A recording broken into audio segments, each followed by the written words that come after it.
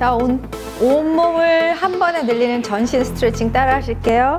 다리를 쭉 땅바닥을 밀고 손은 천장을 쭉 밀고 일어나서 자, 팔을 쭉 천장을 밀어주세요.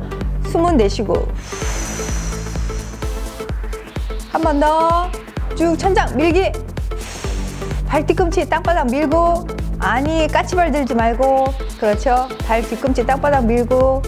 자 이 상태에서 왼쪽으로 앞으로 몸통 이렇게 쓰러지지 않게 그대로 옆으로. 자 다시 한번 오른쪽으로. 아니 뒤로 자빠져도 안 되고 옆으로 그대로. 자 바로 하시고 오른쪽 발 뒤로 하고. 자 이때 골반 안쪽에 연결된 근육 쫙 늘어나는 거 느껴지세요? 음, 아구 시원해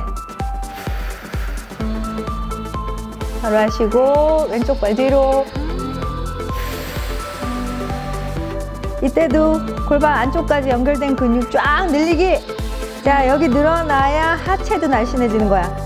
밀어 밀어 팔쭉. 호흡 하고 바로. 어.